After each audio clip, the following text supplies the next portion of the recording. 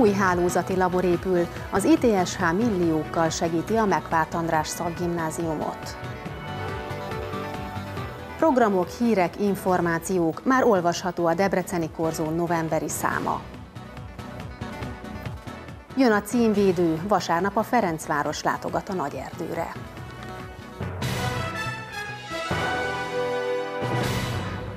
Köszöntöm Önöket, ez a Debrecen Televízió hírműsora a Napszemle. November 8-a péntek van, mondjuk a legfrissebb helyi híreket.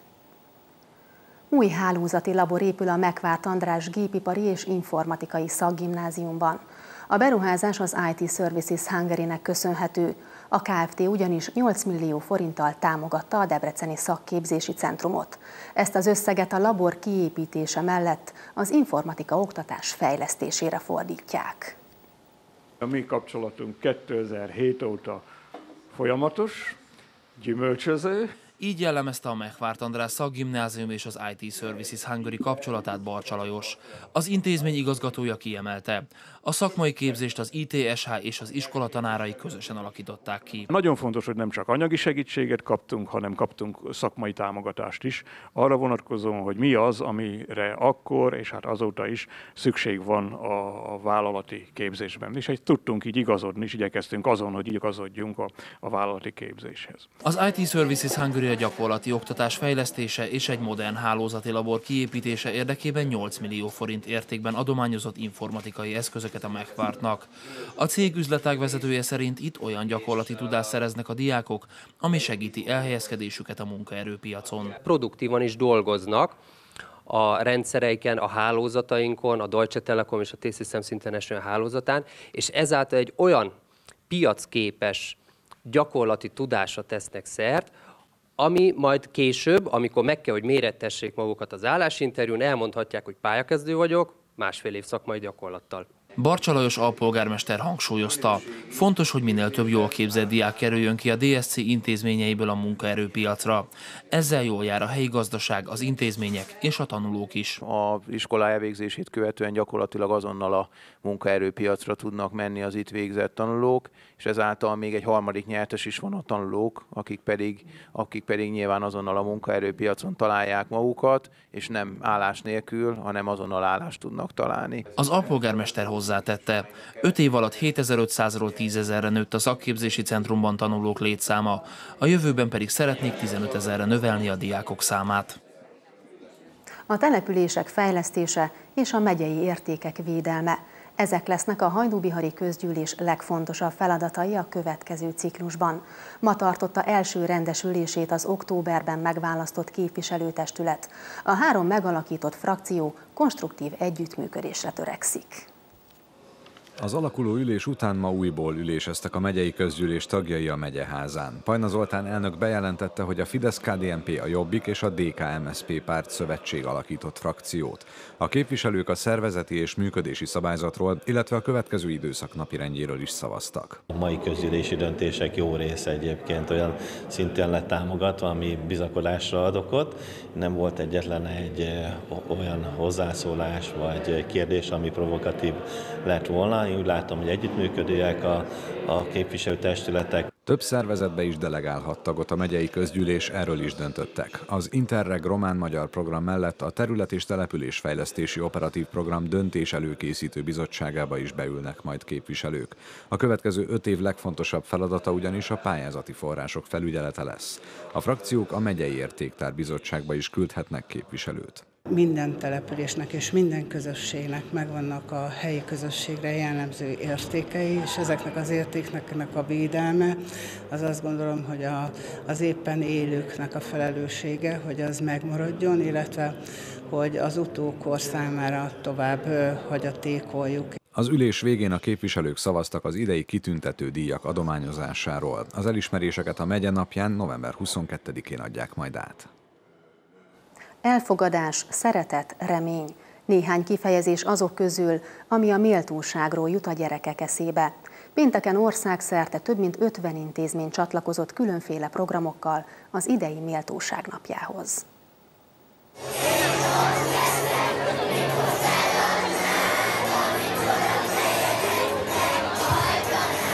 Közösen énekelték a gyerekek a Halott pénz jól ismert slágerét délelőtt a Benedekelek általános iskola udvarán a Méltóság napján. Nem véletlen a sárga öltözet, hiszen ez a narciszt szimbolizálta, ami az élet, a remény, illetve a halál legyőzésének jelképe. Gyerekekkel együtt dolgozom már több mint tíz éve, számunkra a szeretetet, a ki nem fogyó szeretetet, illetve a figyelmet jelenti, hiszen ezek a gyerekek ilyenkor picit magukba is néznek, illetve egymás felé és afelé a közösség felé, amelynek ők aktív részesei, akár itt az iskolában, akár a családban. Az ablakra kiragasztott fotók a generációk közötti kapcsolattartást mutatják be. Tisztelet, bátorság, megértés. Ezeket a szavakat gyerekek írták fel a papírlapokra. Nekik ezek jutnak eszükbe a méltóságról. A rendezvény szellemiségével a görög katolikus egyház is egyetért. Én azt gondolom, hogy az emberi méltóság az egyfajta elfogadása annak a, annak a felülről jövő hívásnak, amit, amit az életnek nevezünk. Az ember kap egy ajándékot, és a maga válaszában kifejezi ezt a, ezt a fölfoghatatlan titkot, hogy, hogy méltó befogadni hitem szerint az Istennek az ajándékát. A programhoz országszerte több mint 50 oktatási és nevelési intézmény csatlakozott. A mai nap különleges, hiszen ezen a napon talán egy picit intenzívebben és tartalmasabban jelennek meg ezek a programok, de a hétköznapokban is ügyelünk arra, hogy a méltóság és az ezzel kapcsolatos fogalmak, gondolatok ott legyenek a gyerekek gondolat és érzelemvilágába. Az iskola udvarán élőkép is készült. A gyerekek egy sárga színnel kitöltött pillangót formáztak meg. Ezután az intézmény előtt köveket helyeztek el, ezekből megformázva a méltóság szót. Több baleset is volt ma Debrecenben. Szerencsére ezek csak anyagi kárral jártak, komolyabb személyi sérülés nem történt. Ez az autó reggel a Diószegi út Remény utca sarkánál eddig tisztázatlan körülmények között borult az árokba. A vizes csúszós úton a kocsi kidöntött egy keresztáblát is, majd a tetejére borulva állt meg. A sofőrnek nem esett komolyabb baja, saját lábán szállt ki az autóból. Nem sokkal később a Nyugati utcán is baleset történt. Itt egy kamion valószínűleg szabálytalan sávváltás után tört össze egy személyautót. Az ütközésben a kocsi jobb oldala sérült meg. Személyi sérülés nem volt, de a kár több százezer forint. Lépés határ. Ez a címe annak a tárlatnak, ami a páneurópai piknik és a berlini fal lebontásának 30. évfordulója alkalmából nyílt a Modernben. A kiállítás a magyar kerítésbontástól a határnyitásig, valamint a békés forradalomtól a német egységig tartó időszakot mutatja be. Magyarország verte ki az első követ a falból. Így fogalmazott Helmut Kohl kancellár a 30 évvel ezelőtti eseményekről. Ezek a fotók is őrzik azoknak a történelmi napoknak az emlékét, amik a Berlin ketté választó fal lebontásához vezettek. A Lépéshatár című kiállítás mai megnyitóján Komolai Szabolcs tanácsnok azt mondta, a fal lebontása szimbolikus tett volt 1989-ben. Valaminek a végét jelentette egy szörnyű diktatúrának, amely bennünket, magyarokat és németeket összekapcsolt. És az, hogy most emlékezünk rá közösen, az azt mutatja, hogy kilábaltunk ebből a borzalomból, és erős, egészséges európai nemzetekként tekintünk a jövőbe, és közösen együtt építjük azt a közös Európát, amelynek mindannyian részei vagyunk. Németország ugyanúgy, mint Magyarország. 1989. augusztusában a magyar-osztrák határ melletti békedemonstráción megnyílt a határ, és több száz kelet-német állampolgár jutott át Ausztriába. Ez az esemény fontos lépés volt Németország újraegyesítése felé. Pósán László szerint ezzel megoldódott egy régi történelmi kérdés. Ez nem egyszerűen csak egy határnyitás volt, hanem, hanem a határnyitás egy, egy jelképe annak, hogy mindenhol a politikai rendszer megváltozott, mindenhol demokratikus többpárti berendezkedés jött létre, mindenhol piacgazdaság alakult ki, szabadá vált a közlekedés, az utazás, és gyakorlatilag eltűntek szépen a határok. A korabeli plakátokat és fotókat felvonultató tárlat egy hónapon át látható a Modemben. Különleges őszi rendezvények a kultúra és a sport világából. Ezeket gyűjtötte össze a Debreceni Korzó novemberi száma. A legfrissebb kiadványa mellett színes híreket, információkat és egyéb érdekességeket is tartalmaz.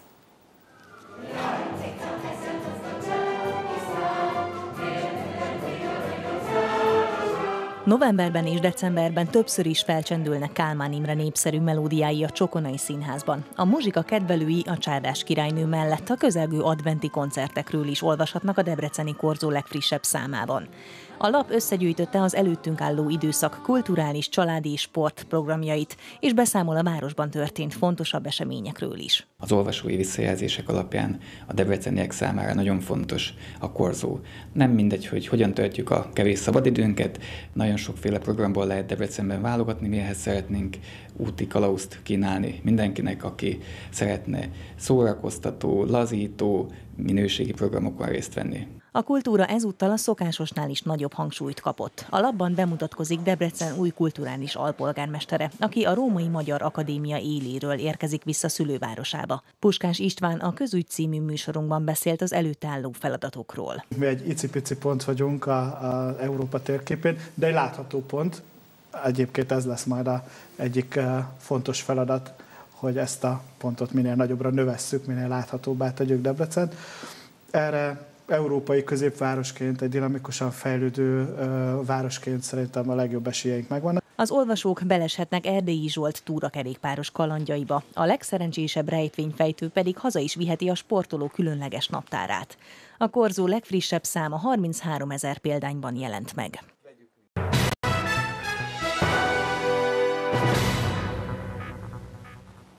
Jelentős előnyt szerezne a visszavágóra a DVSC Scheffler a női kézilabda EHF kupa harmadik selejtezőkörének első mérkőzésén.